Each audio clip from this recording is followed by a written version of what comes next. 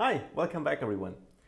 After doing all this request session validation stuff, we're finally reaching the point where it, I think, makes sense to store some data, to, well, manipulate some data, to do more with the data than just dumping it after each of our dummy requests.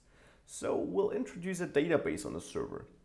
Now, Node.js often used with MongoDB, together with MongoDB, but you can use it just fine with SQL databases as well. But in this video, we will have a look at how we install MongoDB, which is a NoSQL database. So let's get started. On the MongoDB homepage, mongodb.org, we just download a MongoDB. Just pick your operating system, hit the download button here. You don't need to fill out this form.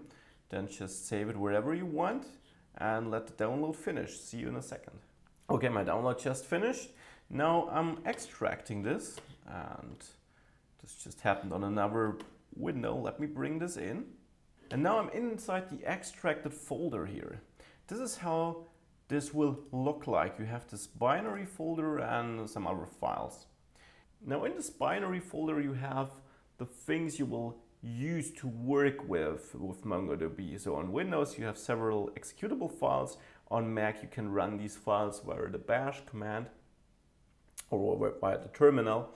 And it's uh, this will be, for example, MongoD will be a server you start up. Mongo will be the client with which you connect to the server. But why talk about it? Let's see this in action. You may copy this whole file, this whole folder, excuse me, to where, whichever location you want on your operating system. So store it where you want, doesn't have to be in your downloads folder. Just be sure to navigate to the right folder when you're using it later in the terminal, for example. So in my case here, let me open a terminal and here I navigated into my MongoDB binary folder. On Windows, you may just run the executable on Mac or Linux.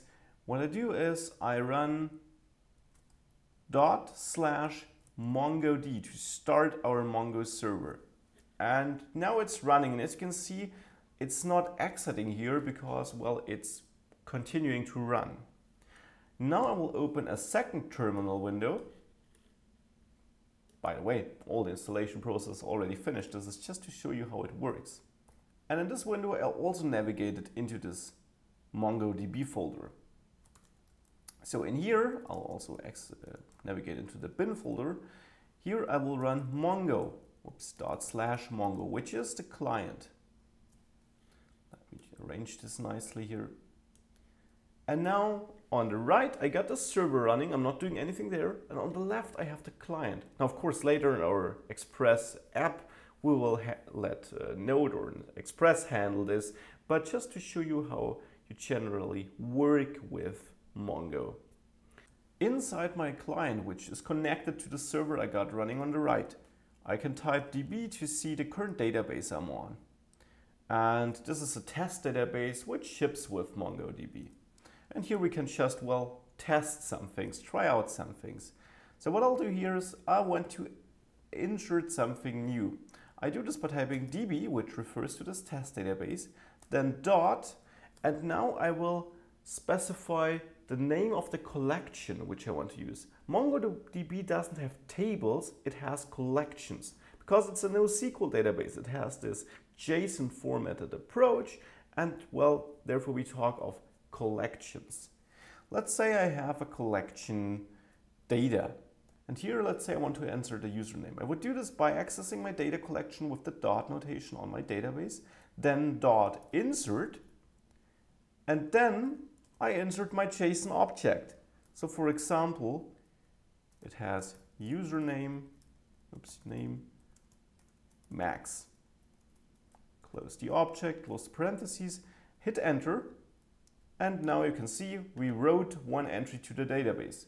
In order to see that data, I can also query db.data.find with empty parentheses to see all the objects I have in my database. In this case, only the username. And as you can see, there was an ID automatically added to this entry, a unique ID.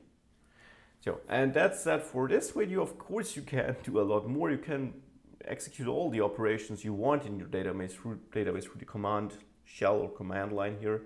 But we will do this in Node, of course. Just wanted to show you how to set it up, how it works, that you got this server and client, and the server, the right terminal window, is something we'll keep running for our development because we need that server and we're developing on our local machine at the moment. But the client is something we won't need in the future because we are not using this command line client or this MongoDB shell client, but instead we will use Express and the respective uh, MongoDB package. See you in the next video where we will actually do this. Bye.